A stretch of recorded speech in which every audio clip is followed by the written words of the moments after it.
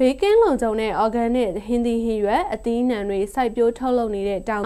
အစိုးရကအတိမတ်ပြုထုတ်ပြီးတဲ့လက်မှတ်တွေမရရှိနိုင်သေးတဲ့အတွက်အခက်အခဲတွေရှိနေပါတယ်။ဒီသတင်းကိုစုစုတွေကပေးပို့ထားပါရရှင်။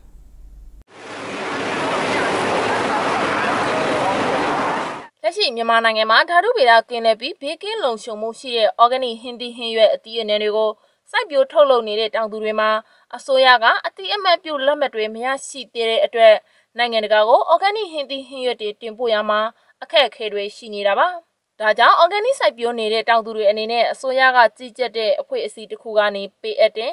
organic အတိအမှတ်ပြုလက်မှတ်တွေကိုမဖြစ်မနေလိုအပ်နေတယ်လို့စိမ့်လန်းစိုက်ပျိုးထုတ်လုပ်ရင်းနဲ့အထွေထွေရောင်းဝယ်ရေးတမန်ဝင်ရမအတင်းတာဝန်ရှိသူကပြောပါတယ် အန်ဒီတို့မှာအဓိကအခက်ခဲရပါတော့တကယ်စိတ်ချယုံကြည်ရတဲ့အဖွဲ့အစည်းတစ်ခုကနေ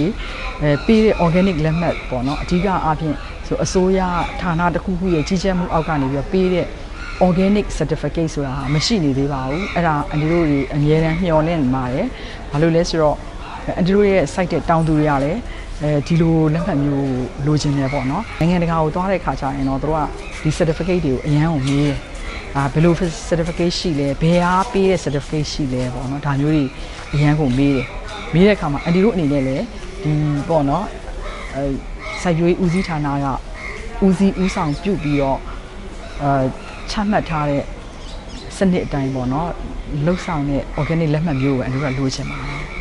organic စိုက်ပျိုးတောင်သူတွေကိုအစိုးရအတိအမဲ့ပြု organic လက်မှတ်တွေထုတ်ပေးမယ်ဆိုရင်စားသုံးသူတွေအနေနဲ့လည်း organic ဟင်းသီးဟင်းရွက်တွေကို ယုံကြည်စိတ်ချစွာနဲ့စားသုံးနိုင်မှာဖြစ်ပါတယ်။လက်ရှိမှာတော့ organic စိုက်ပျိုးတောင်သူတွေအတွက်ပြင်ပအဖွဲ့အစည်းတွေကနေအတိအမဲ့ပြုလက်မှတ်တွေထုတ်ပေးနေတာတွေရှိပါတယ်။ဒီ organic အတိအမဲ့ပြုလက်မှတ်ဈေးနှုန်းကြီးမြင့်တဲ့အတွက်မပေးနိုင်တဲ့တောင်သူတွေလက်ထဲကိုရောက်အောင် တင်နန်းပေါင်းများစွာပေးခဲ့ပါတယ်ပေးခဲ့ပြီးတော့မှစိတ်ပါတဲ့တောင်သူတွေဖြစ်လာပြီးဆိုလို့ရှိရင်အုပ်စုလေးတွေဖွဲ့တယ်စစ်ဆေးနည်းတွေတင် जा ပေးတယ်တင် जा ပေးပြီးတော့အဲအခုဆိုလို့ရှိရင်ဒီသူတို့ရှီကထွက်လာတဲ့ထွက်ကုန်လေးတွေနဲ့ဒေတာရင်းဈေးကွက်ပေါ့နော်ပြည်တွင်းစားသုံးမှုအတွက်